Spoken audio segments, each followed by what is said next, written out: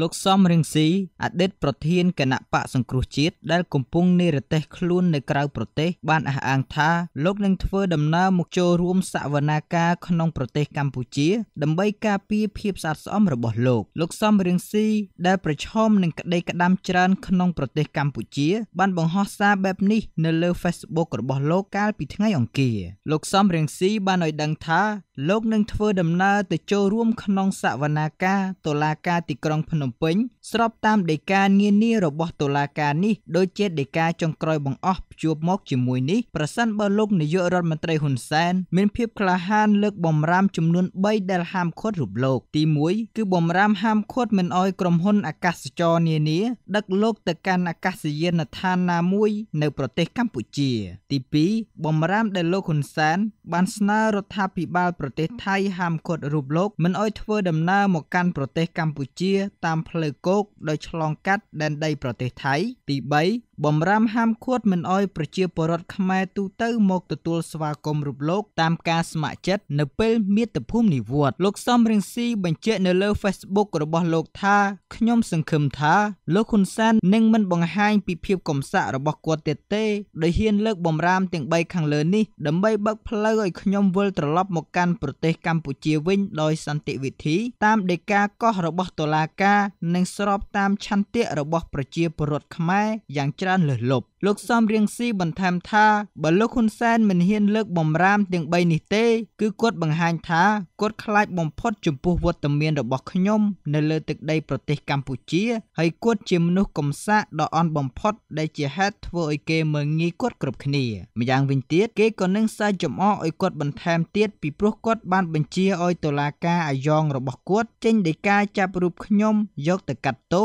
តែនៅពេលខ្ញុំត្រៀមចូលប្រទេសកម្ពុជាឲ្យពួកគាត់ចាប់ខ្ញុំស្រាប់តែគាត់បែរមកហាមឃាត់ខ្ញុំហើយបង្កឧបសគ្គមិនឲ្យខ្ញុំធ្វើដំណើរមកប្រទេសកំណើតរបស់ខ្ញុំវិញជាមួយសារនៅលើបណ្ដាញសង្គម Facebook លោកសំរៀងស៊ីបានភ្ជាប់ដីកាមួយដែលកោះហៅរូបលោក និងសហការីរបស់លោកផ្សេងទៀតដូចជាលោកអេងឆៃអៀងលោកឡុងរីអ្នកស្រីមូសុកហួរលោកអ៊ូចាន់រិតឲ្យចូលបំភ្លឺនៅតុលាការនៅថ្ងៃទី15ខែកញ្ញាឆ្នាំ2022មេធាវីការពារក្តីឲ្យលោកសំរៀងស៊ីគឺលោកសំសុគង្គប្រាប់ VOA នៅថ្ងៃពុធនេះថាតុលាការក៏ហៅលោកសំរៀងស៊ីពាក្យពួនជាមួយសំណុំរឿងការធ្វើមាតុភូមិនិវត្តរបស់អ្នកស្រីមូសុកហួរអតីតអនុប្រធានគណៈបកសង្គ្រោះជាតិកាលពីឆ្នាំ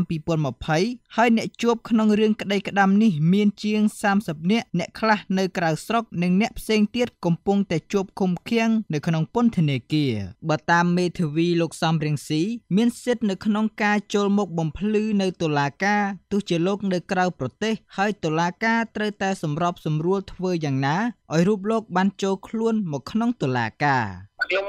ជឿថាបើតើទៅនឹងការអនុវត្តច្បាប់ទាំងច្បាប់ជាតិដោយច្បាប់អន្តរជាតិគឺជនជាប់ចោតហ្នឹងត្រូវតែមានសិទ្ធិក្នុងការ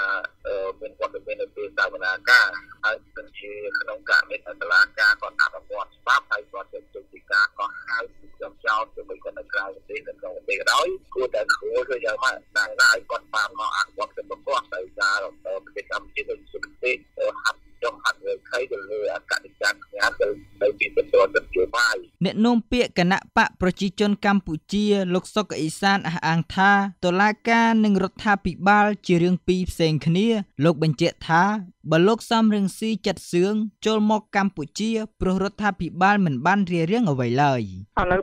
2022ហើយខ្ញុំមិនឮថារាជរដ្ឋាភិបាលលោកមានប្រសាសន៍ហាមហាមឃាត់មិនឲ្យតនដិតនេះចូលទេឬមួយហាមក្រុមហ៊ុនកប៉ាល់ណាមិនឲ្យចូលទេ VOA មិនអាចសុំការអធិប្បាយពីលោកប្លង់សុផលអ្នកនាំពាក្យសាលាដំបងរាជធានីភ្នំពេញបានទេនៅថ្ងៃពុធនេះគួរបញ្ជាក់ថាកាលពីខែមីនាឆ្នាំមុនលោកសំរងស៊ីត្រូវបានតុលាការរាជធានីភ្នំពេញកាត់ទោសឲ្យជាប់ពន្ធនាគារ25ឆ្នាំពីបទឧបឃាតលោកសំរៀងស៊ីក៏កំពុងរងបណ្ដឹងជាច្រើនករណីផ្សេងទៀតរួមទាំងសំណុំរឿងប្រមាថព្រះមហាក្សត្រជាដើមរីកាពីរាជធានីភ្នំពេញខ្ញុំហាណូយ VOA